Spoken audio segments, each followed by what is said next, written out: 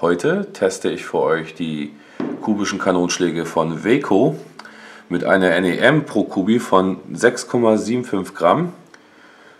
Ist ja nun nichts mehr Neues, dass Weco äh, solch eine NEM-Angabe auf den Teilen klatscht. Viele sind ja der Meinung, es sind laut Gesetz nicht mehr als 6 Gramm oder so erlaubt, aber das ist auch für mich jetzt mittlerweile nebensächlich. Also ich halte mich da nicht mehr an solch Kleinigkeiten. Auf jeden Fall werden wir die jetzt testen. Das ist die Charge 2013 aus dem Lidl. Ja, und ich würde sagen, wir sehen uns draußen beim Test. Bis gleich.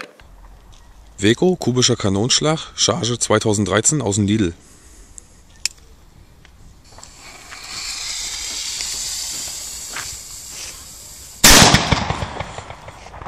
Oh, sehr gut. Kann ich weiterempfehlen. Rumsen richtig schön. Einen zweiten noch hinterher.